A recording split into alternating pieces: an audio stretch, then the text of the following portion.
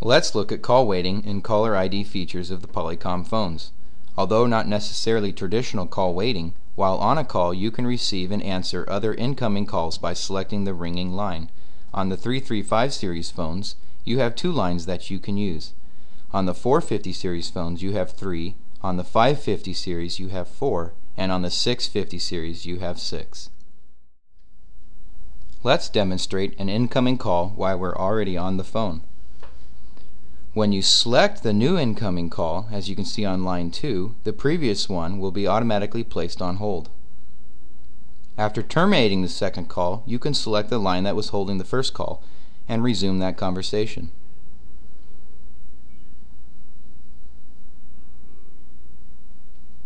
Caller ID allows us to see who is calling, similar to what your cell phone displays. This works for internal and external calls on your phone. To expand on the topic of multiple line keys, let's talk about call conferences. Using the Polycom phones, we can create call conferences between two lines on your phone. One of the benefits of these phones is that you can create conferences between calls that you made and calls that you received. It doesn't matter. If you have two line keys in use, you can create a call conference. While two lines are in use, as you can see line 1 and line 2, you can create a conference by selecting the other line using the arrow pad, the one that is on hold, and pushing the Join Soft button on the 335, or by pressing the More Soft button and then the Join Soft button on the 450. Down arrow to select the second line, push the Join Soft button. Once you have them joined into a conference, you can split the conference up by pressing the Split Soft button or end the call by pressing the End Call soft button. If you push the Split soft button, the calls will be placed back into line 1 and 2 of your phone. Do Not Disturb is a great feature for when you need to work without any interruptions. When Do Not Disturb is enabled, anyone that calls you will be immediately sent to your voicemail without any ringing on your phone. To enable and disable Do Not Disturb on the 335 series phones, press the Menu Hard button, select Features, and press the check button in the middle of the arrow pad. Then select Option 2, Do Not Disturb, using the arrow pad, and pressing the check button once again. Using the left arrow on the arrow pad to return to the main screen, you will now notice your two lines will be flashing a red X instead of displaying a phone. On the 450 series phones, which includes the 550 and 650 series, press the Menu Hard button, select Features by pressing the check button in the middle of the arrow pad, and then select Option 1 Do Not Disturb using the arrow pad and pressing the check button once again. Using the left arrow on the arrow pad to return to the main screen, you will now notice your three lines will be flashing an X instead of displaying a phone. Follow the same instructions to disable Do Not Disturb. For those that have headsets, using them is quite easy. For those that are using the corded Plantronics S11 headsets, instead of pushing the speaker button or lifting the handset, push the headset button on your phone and the call will be transferred to your headset. For those that have the more advanced headsets with lifters, you should be able to still use the lift button on your headset to answer the call. Finally, let's talk about managing the contacts on your phone. Although this is an easy process, it is tedious and time-consuming to type names into the contact. Let's start with getting to the directory first, which on the 335 series phones is as easy as pushing the DIR soft button. On the 450 series phones, which includes the 550 and 650 series, you have to access it by pressing the DIR soft button and selecting the contact directory using the check button in the middle of the arrow pad. To add a new entry on the 335 series phone, select the New Entry option and press the check button on the arrow pad. Select the first name field by pressing the check button once again and type in the name similar to how you would text on a cell phone. For the letter R, press the 7 key three times.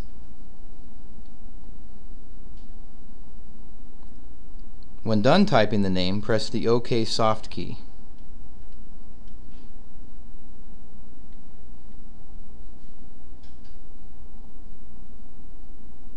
Using the arrow pad, edit the last name and contact fields, the same that you would edit the first name field.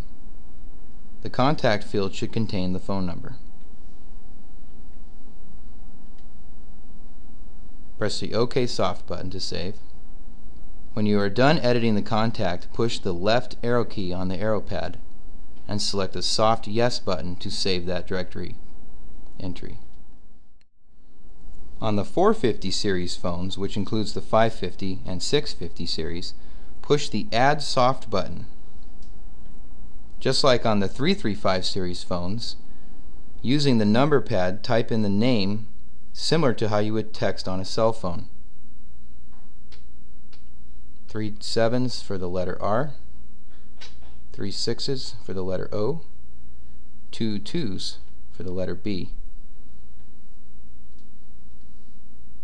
Be sure to type in a contact number and then when you're done click the Save Soft button.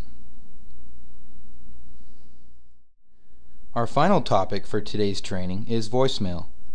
We will learn how to configure your voicemail for the first time and how to access your voicemail internally and externally. As you follow the steps below, keep in mind that when recording your unavailable message, you may be required to follow a company standard. Check with your department head or your local HR department. Let's start by configuring your voicemail for the first time. On your Polycom phone, dial star 97 and lift your handset or press your speaker button. Password. When prompted for your password, please enter 1234 and press the pound key. You have no messages. Press 2 to change folders. Press 3 for advanced options. Press 0 for mailbox options. Press star for help or pound to exit. Don't worry, we will be changing your password shortly. Press 0 for mailbox options. Press 1 to record your unavailable message. In our configuration, we use the unavailable voicemail message, which we will record by pressing 1 for unavailable message from within mailbox options. When you are done recording your unavailable message, press the pound key to stop recording. You may review your recorded message by pressing 2, and if you desire, press 3 to re-record your unavailable message. Press 1 to accept the recording and save as your unavailable message. Let's demonstrate recording your unavailable message. Press 1 to record your unavailable message. Press 2 to record after the tone say your unavailable message and then press the pound key. This is a test unavailable message. Thank you. Press 1 to accept this recording. Press 2 to listen to it.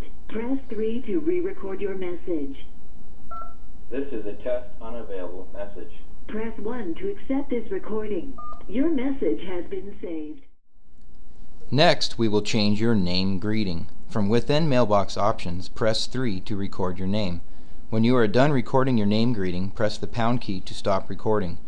You may review your recorded message by pressing 2, and if you desire, press 3 to re-record your name greeting.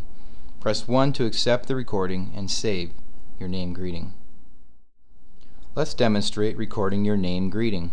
Press 1 to record your unavailable message. Press 2 to record your busy message. Press 3 to record your name. Press after the tone say your name and then press the pound key. Aaron Gilbert. Thank you. Press 1 to accept this recording. Press 2 to listen to it. Press Aaron Gilbert. Press 1 to accept this recording. Press 2 to your message has been saved. Finally, we will change your voicemail password. From within Mailbox Options, press 5 to change your password. When prompted, enter your new password, which must be four digits or longer, and then press the pound key. You will be prompted to enter your new password again. Press the pound key when finished. Your voicemail is now configured. You may hang up your phone. Let's demonstrate changing your voicemail password.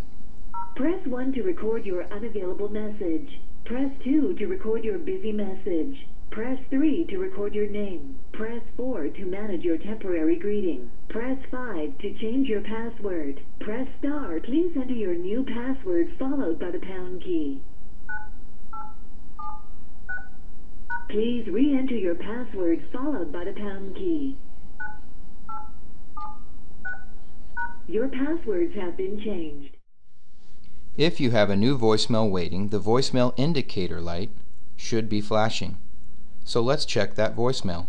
Internally, you can access your voicemail by dialing star 97 and then lifting your handset, pressing the speaker button, or using your headset. You will be prompted for your voicemail password followed by a pound sign. Password. You have one new message. Externally, you can access your voicemail by dialing your direct line phone number, and when you hear your own voicemail message, press the star key. You will be prompted for your voicemail password followed by a pound sign. Working with voicemail messages is similar to your current voicemail system or your cell phone voicemail. After you have connected to your voicemail, follow the verbal prompts to listen, save, and delete voicemails. This concludes our training. If you have any questions at this time, please direct them to one of the network and telecom team members. Thank you and have a nice day.